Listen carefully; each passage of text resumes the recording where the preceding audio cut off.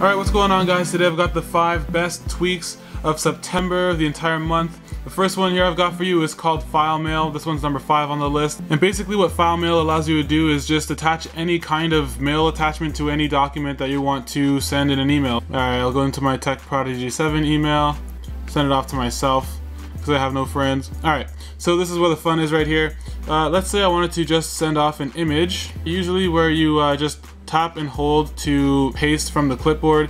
You actually have this plus sign, so you just tap on that plus sign, and you have a whole options of things to send to people. So uh, let's just go into our media and go to DCIM, which is your camera application, where that storage is, and 100 Apple. So these are all of your videos and pictures that you can send to anyone. So I'm just gonna tap here and select a random image. So I just chose an image for like a wallpaper for the iPhone, and then you can just go ahead and send that. And so you have a couple options when you send. You can either send it as a small file, medium, or the actual size, which is a really large file. Uh, so whatever you choose, I'm just to send a small one. I don't want to use too much of my Wi-Fi bandwidth. So at the bottom you can just see it's sending, and as usual, it'll just send. It's really cool. Oh, there it is. I just received it.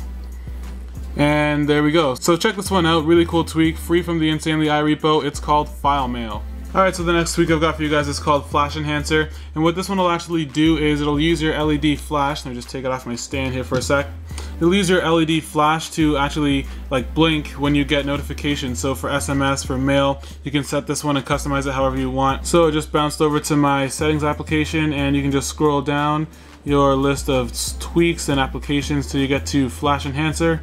Go ahead and click that there. And as you can see here, I have it enabled, I have it on lock mode, so basically with lock mode it'll only flash when it's locked, but I'll show you how it looks. That way I can take it off of uh, lock mode there. Bright time, you can actually set um, basically how long you want it to flash for, so uh, I have it set on 0.5 seconds right now.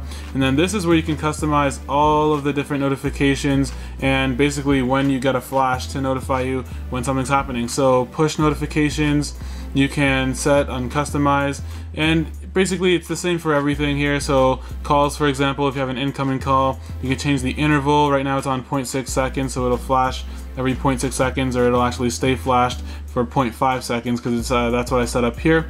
And then SMS, same thing. All right, so just for demonstration, I'm gonna just put a flash notification for my alarm. I've got it set to flash five times with a one second interval in between. So let's just go over to my clock. All right, so it's 8.44 right now. I will make this alarm for 8.45 p.m. And let's see if it works. All right, so here we go. And it is flashing. That's pretty awesome. Alright, so that's Flash Enhancer, guys. It's $3 from the Big Boss Repo. Make sure to check that one out. Alright, so the next week is called Gesturizer. This one's $2.99 from the Big Boss Repo. And this one's really cool. Let me just show you how to use it by going into the settings. Alright, so once you're in settings, you want to just scroll down your list of tweaks till you get to Gesturizer right here. Alright, so with Gesturizer you can actually use gestures to switch between applications when you are in the multitasking mode like this. For example, if I wanted to, let's open this back up, if I wanted to go to Cydia, then I can change my glyph to Open Cydia. I'm going to just change it to CY, and that way I can't forget it. And it'll just save that. Alright, so if I go back, then if I just double tap to get into my multitasking, I just go CY, and it pretty much uh, will recognize uh, almost to a T exactly what you're trying to put in. And then there you go, it'll uh, go ahead and load up Cydia. Alright, so there's Cydia all loaded up. Uh, so this is a really cool tweak. I highly recommend this one. This one's $2.99 from the Big Boss Repo. Gesturizer, check it out. Alright, so coming in at number two, it's called KB Shortcuts, and this one's from the Big Boss Repo for $2.50. And I'll show you what this guy's going to do for you just by going into the Notes application here. Alright, so I just uh, made a little note here just to show you a sample of what this tweak will do. Basically, this completely revolutionizes the way that you're going to use your keyboard on your iPhone. Um, you can actually just drag, so let me just hold spacebar and then just drag to any icon. Uh, and then you've got a whole list of options uh, and different things that you can actually use. So you can, for example, insert mail, search, uh, you can do a whole bunch of things, copy, cut, paste, select, go to. You can actually define a word, you can insert your email, you can translate your words, so if it's like in another language. and you're not 100% familiar with it, you can translate and you can undo and redo. So let me just show you here. So let's say, for example, I wanted to find a word in this uh, little note here, and let's say I wanted to find that word everyone there, and I had no idea where it was. You can just hold your spacebar, drag to the F, and just search for a word. So let's search for